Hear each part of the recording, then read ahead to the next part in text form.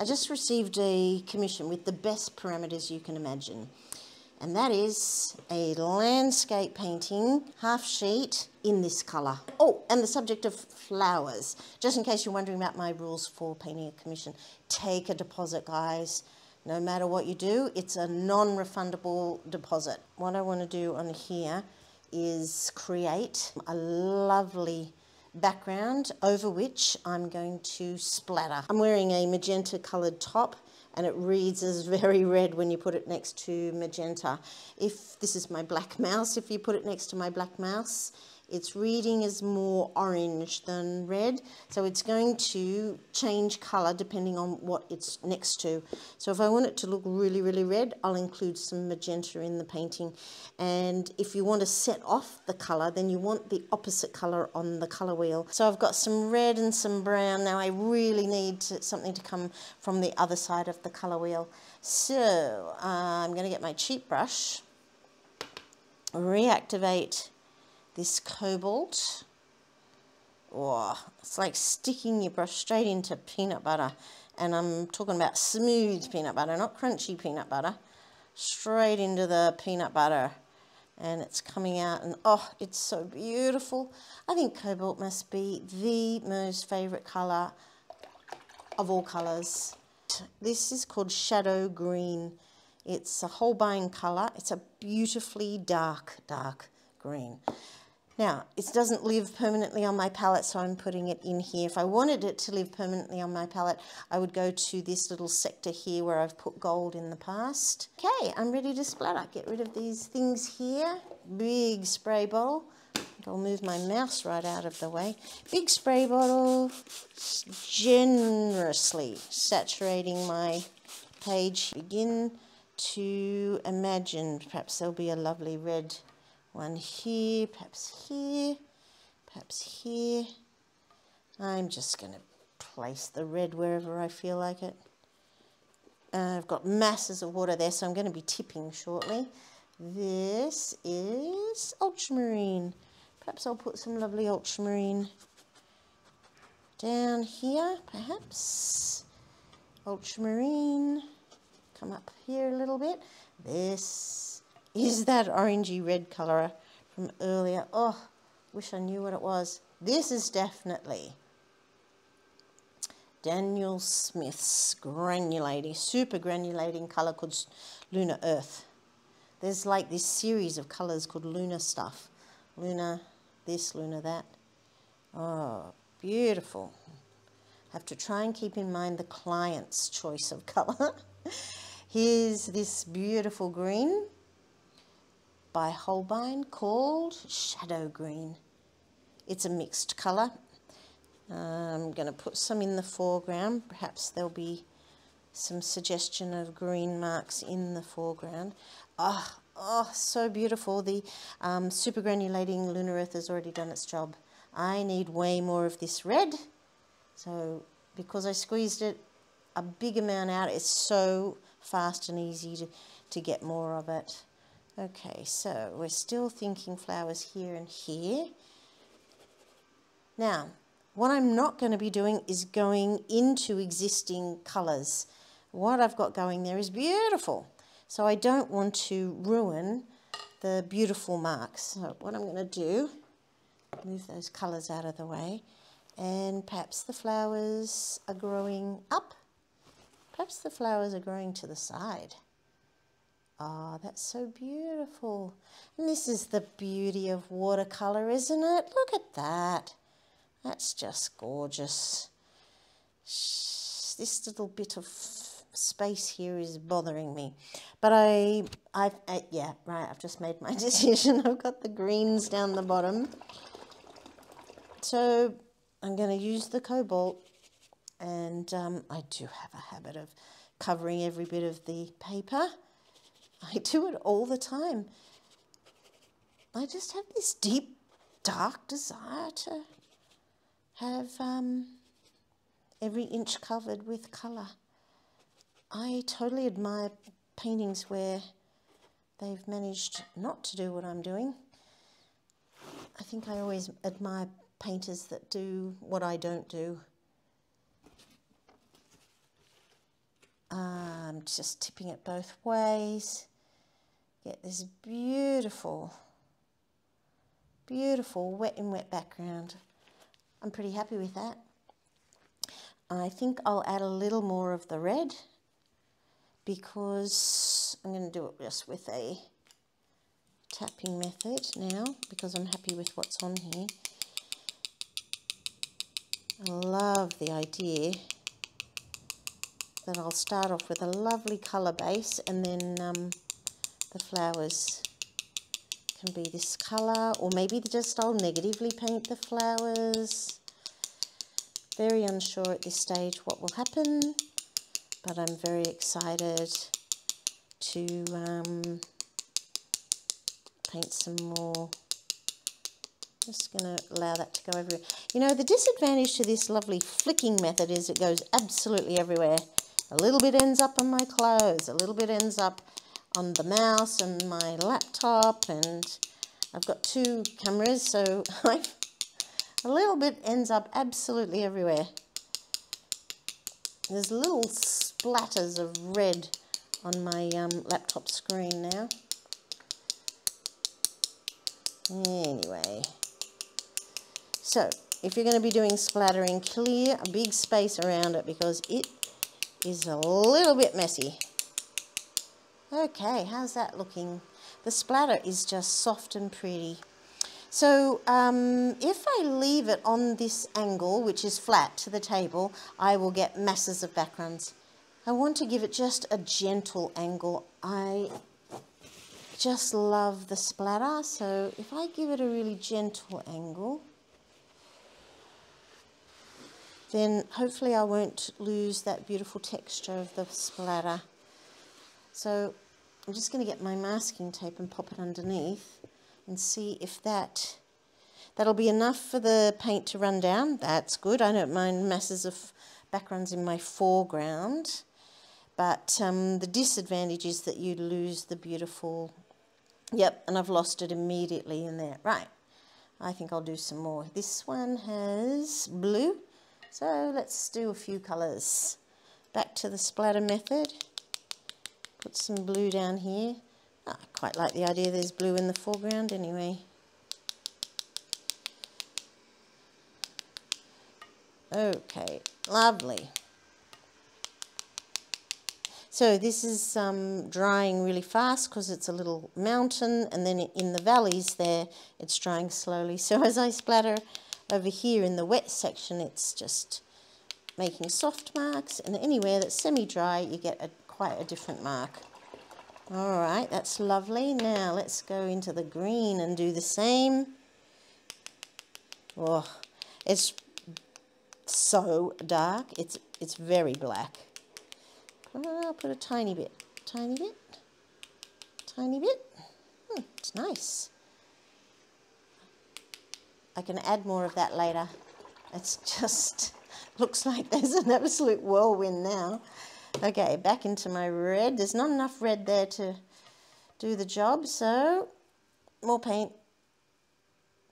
That's quinacridone scarlet. And I want lots of this red. If I negatively paint these flowers, I want lots of red so I can negatively paint them. If I positively paint the flowers, then I'll have a lovely red-based background to glaze over. So I can't go wrong. And I will decide whether I'm going to negatively paint them or positively paint them tomorrow. Because it's drinks o'clock, as I mentioned at the beginning. And it's time for me to have a lovely relax. I've worked hard, I deserve it. And I think that background's looking really spectacular. Okay guys, I'll clean this one off. I'm going to let that dry on this gentle angle and I'll show you what it's like in the morrow. I'm at the midpoint in this painting. Uh, the background's gone really well. I've got my little pencil that uh, I was given that has the colour that they wanted in the painting.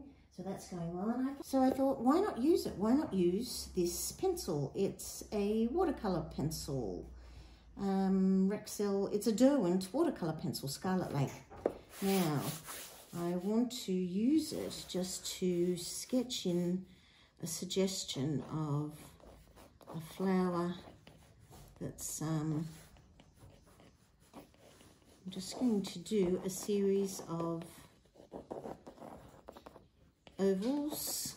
Well, they're not ovals, actually, they're ellipses. And then put in some little centers in the flowers. I'm going to start by playing with this transparent white. I'm going to grab a big lovely brush and start here on this edge of this flower gently as I can grab some of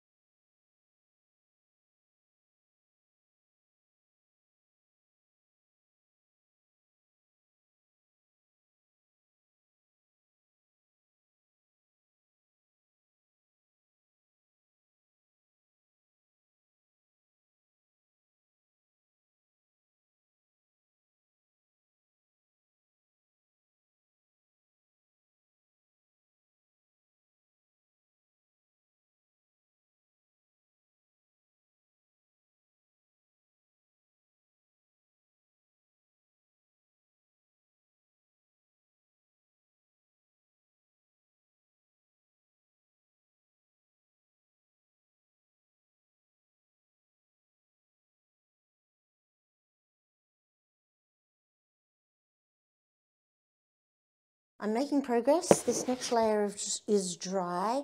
I came out and had a really quick look this morning before I dashed out and I realized that it needs more blue. In order to make this beautiful orangey color look more beautiful, it needs its complement. And I think cobalt is about as close as I'm gonna get to a complement. So what I did was grab this little pencil, Faber-Castell Albrecht Dürer Magnus watercolor pencil, and it's got this really beautiful uh, cobalt color.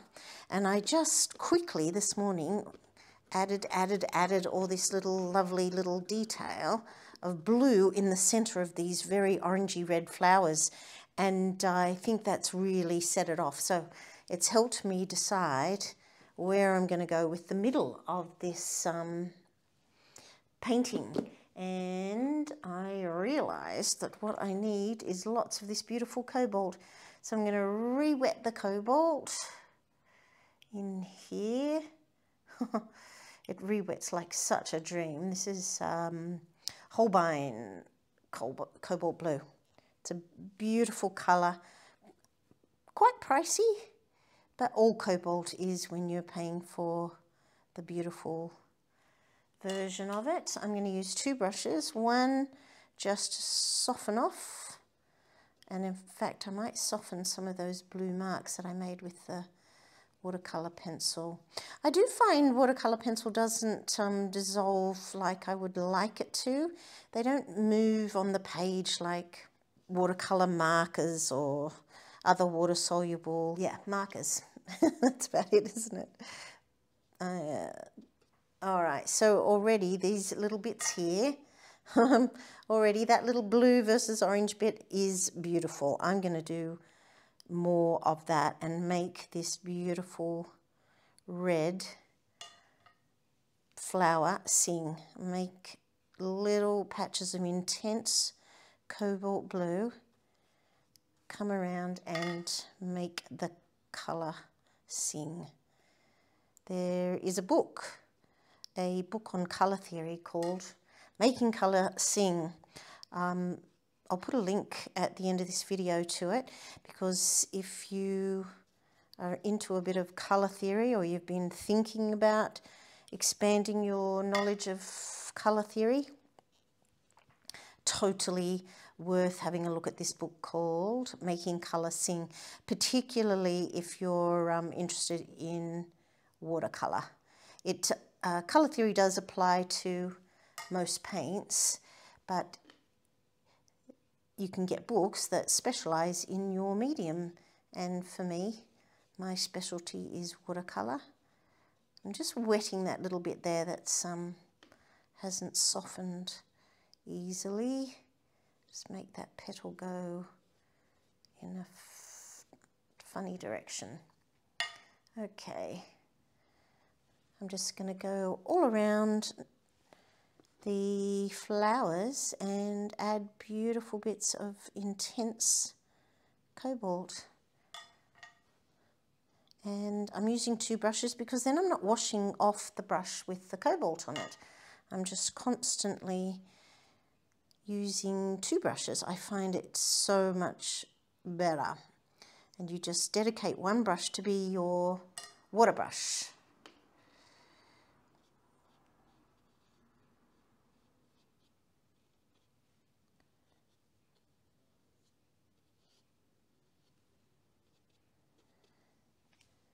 Maybe the center of this flower can have a beautiful... I know that flowers rarely have blue centers, but when I'm painting, I'm interested in making colors look beautiful together. And that's why learning a bit of color theory can be so helpful. A lot of people certainly have their own intuitive sense of colour theory, so they don't a, have a desire to learn it. But I found it changed my world of painting by understanding colour theory. Anything you learn helps you, doesn't it? In surprising ways. I'm often surprised at how pieces of information pop up in a range of ways.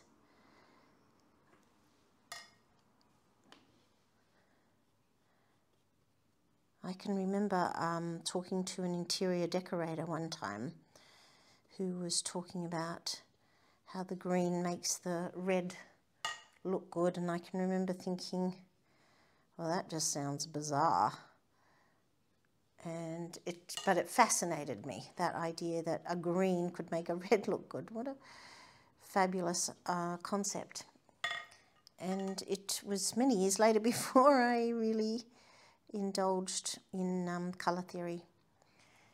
I decided to go back to uni and um, and one of the subjects I took was colour theory. It was one of those courses where I decided to really push myself and and uh, get out of my comfort zone.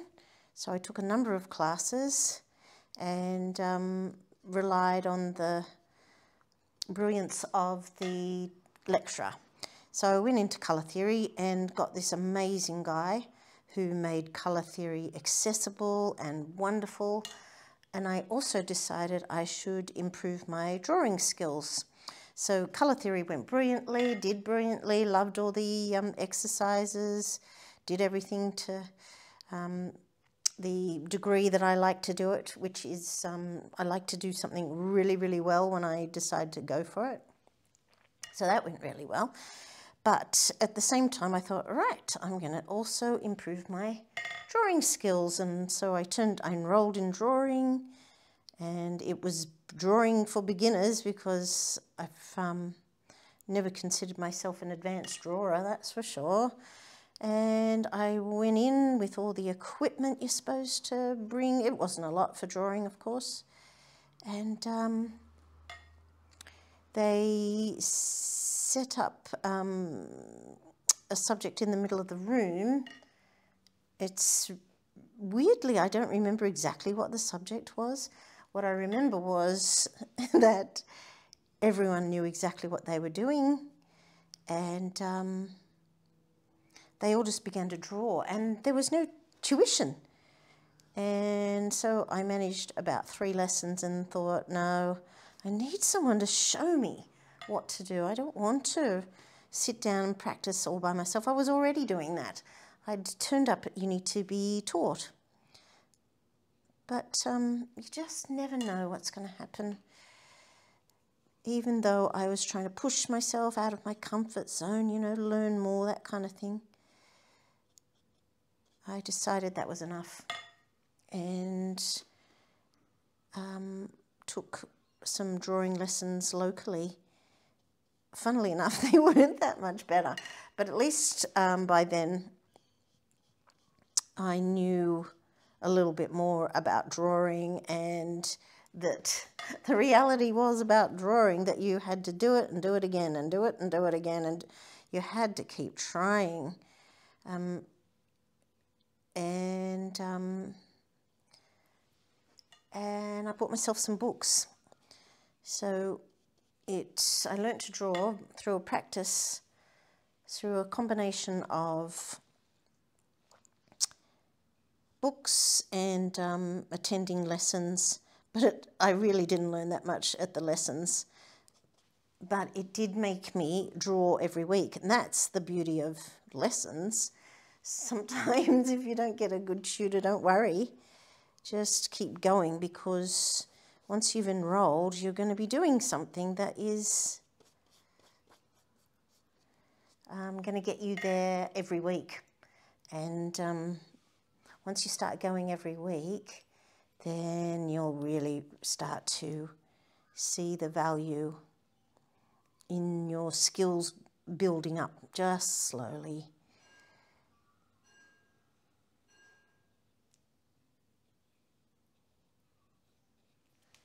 I'm just putting in little abstract marks everywhere, adding the blue and then softening it off with water. Add the blue, soften with water. And I'm just going to do that all over the place. A little bit more water to get a bit more cobalt. I'm using it as thickly as I can, which is not the Vegemite state, it's the creamy state. You know, when you add just a little bit of water to your um, straight out of the tube watercolour, then it's in that beautiful state that will paint but also will sit where you want it to. That's what I'm getting this paint to do, sit where I want it to. And that's how I'm getting those lovely th thick versions, thick, deep cobalt blue. Cobalt blue is not a really dark blue. So unless you're using it really thickly, it's never going to be particularly dark. I, this gap here is kind of bothering me a little bit, so I'm going to just include a little bit of blue and water that out as well and see if that just resolves that space there. Because it could be that I need to put something in the space. So perhaps I'll put in some I like the idea that there's some tallish you know grasses or long hollyhocks or just I'm just imagining something tall that's better it just does need something sometimes taken out. Just putting in some suggestions of things that might start down here. A bit fatter down the bottom. And again, I'm going to soften it out over and over. Paint on, then soften for this sort of thing. And then you get a beautiful variation in mark. Okay, I think that I have um, improved this. That was uh, so needed. This blue here I added, but it's not near thick enough. So I'm just going to re-thicken some of the areas where the blue is dissipated a bit, which of course it does because I wet it. And if I'm lucky, it'll be moist enough that the blue will soften itself on some of the edges there. All right, that's better.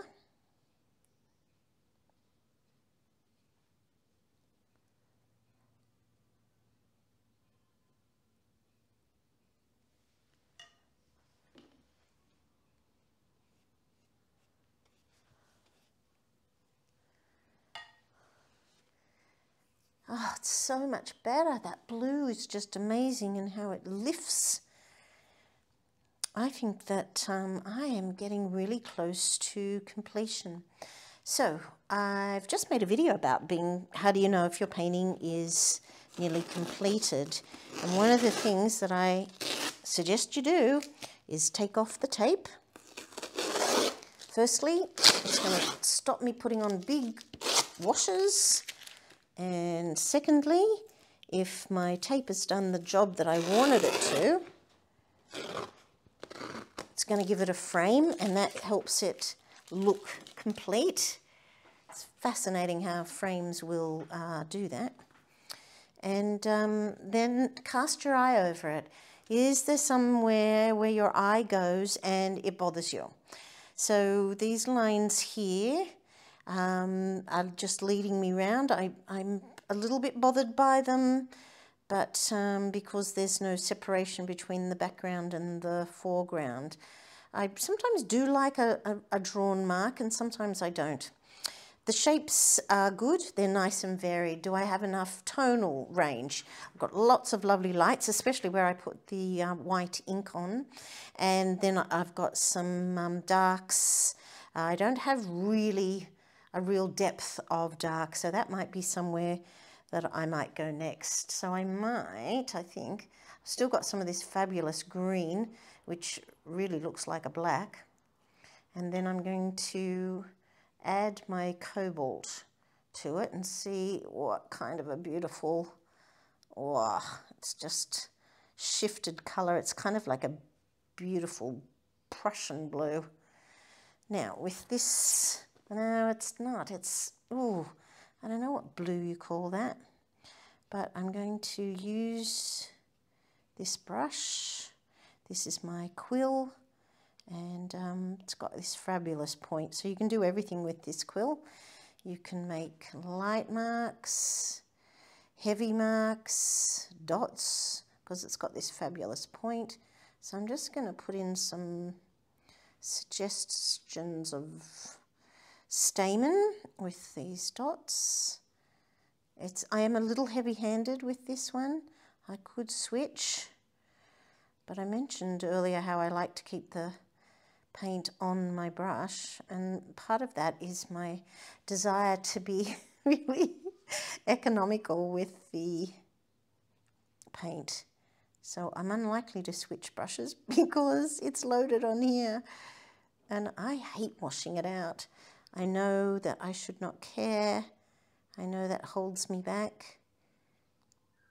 And I know it's what I tell students all the time to not worry about the expense.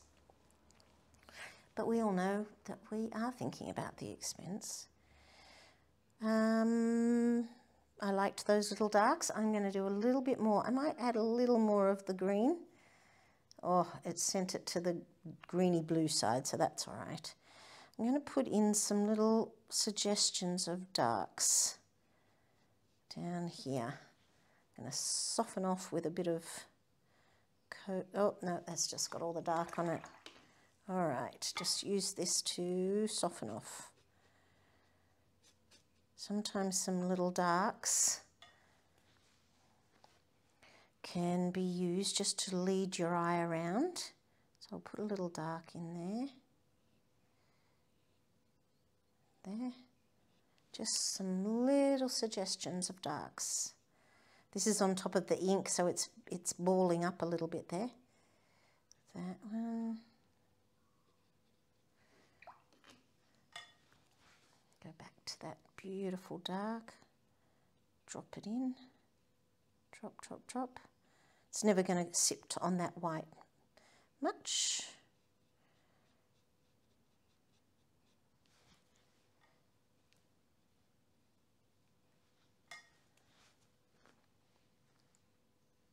That's made that flower stand out more too. So if I'm coming up like that, I wonder if I can use these darks to the advantage of the composition. Make use the darks to bring your eye around, your eye as in the viewer's eye, around the painting. Some little suggestions here and there.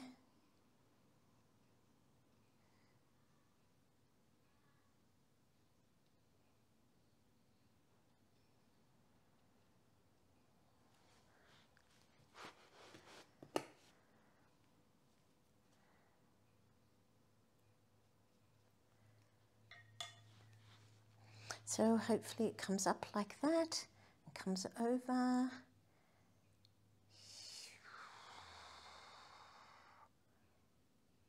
Here.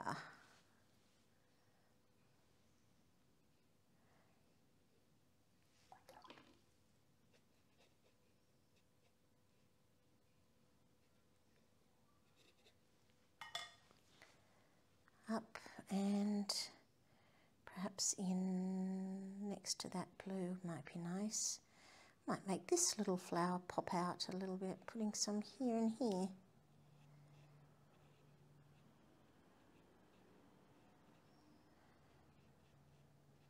And if I put it on that side of the flower, it's logical that it would be on the other side as well. Soften out, soften that bit. So I'm hopefully coming up. It needs a little bit of up there and there.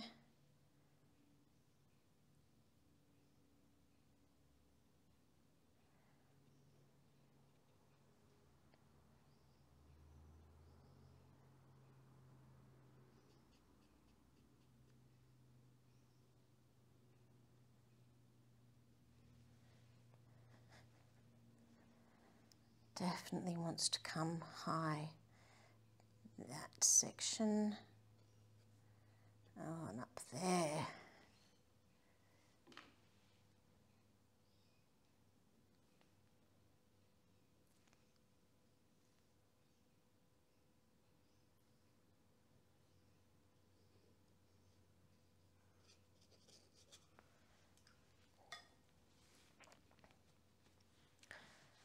Needs to come out here too, doesn't it?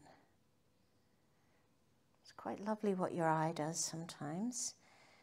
The other thing that um, I recommend in the other video, and I'll put a link to this one as well, is that when you're getting to the end, in order to determine if you're at the end, is to take a break. You can take a photo, that helps. You can also take a break. It's really fascinating what happens if you take a little break, come back and have a little look at it later on. It's really, you get a fresh perspective. And it reminds me a lot of when I was editing documents, and which I did for years. And you regularly need to hop up, wander around, and then come back and go, ah, there's the mistake. If you get like a type of blindness that sets in if you don't stop um, painting. Well, if I don't stop painting, that's what happens. Everyone is completely different. And um, it certainly is about working out what works for you too. I'm going to put one of those over here, go up there.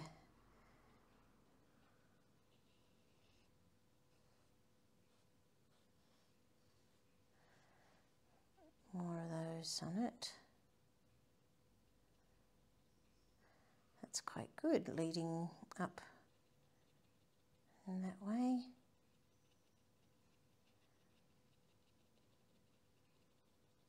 There, oh yeah, that's good.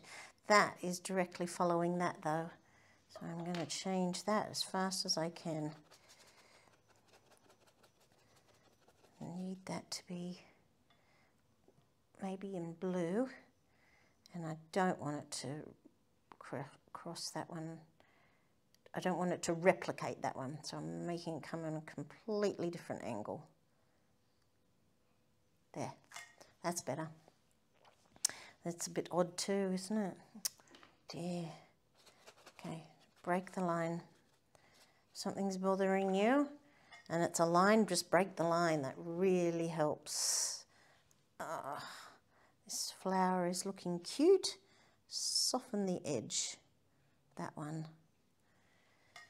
All right, so I got up this far. I was using the black to lead up to here. I think something's needed there. Soften off. Mind you, this shape is a bit yucky, so I'm not sure that has helped, but that's all right. Uh, A little bit more.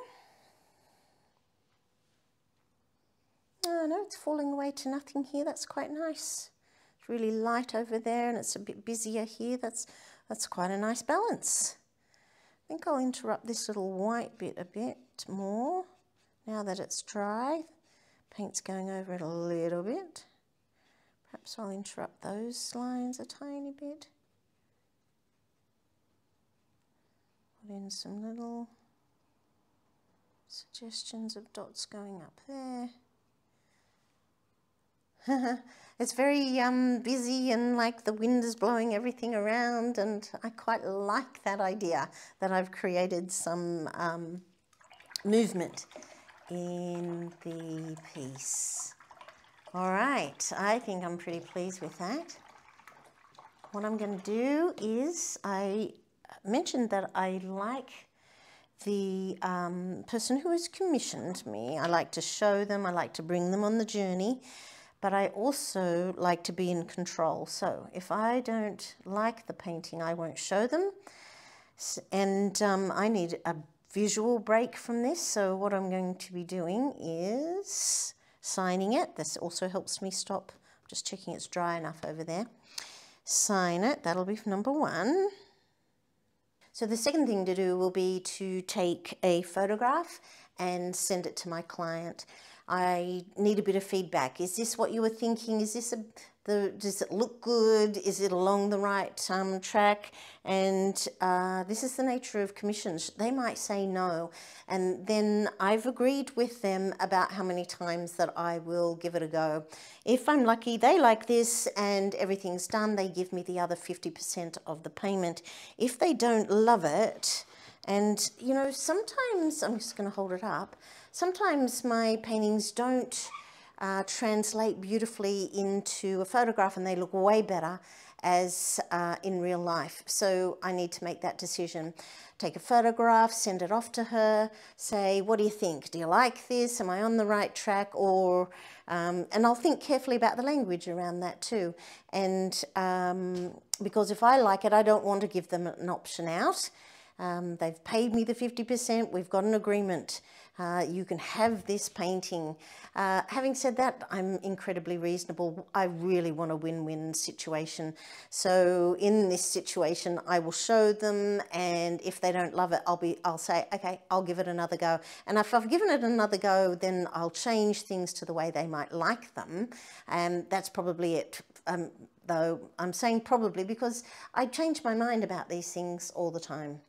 Anyway, uh, that's how it's looking for now. So that's pretty good. And um, it's, it's in the, it's got the right colors that they wanted. So I'm pretty pleased about that. Uh, okay guys, I'm going to say that it's done for now and please wish me good luck with the client and I'll see you next time. And I'll put a little link at the end of this one to Making Colour Sing and I've got another flower video so maybe you're interested in that as well so I'll put those two links at the end of this video in case you'd like to see something else. Thanks for all your support guys. See ya.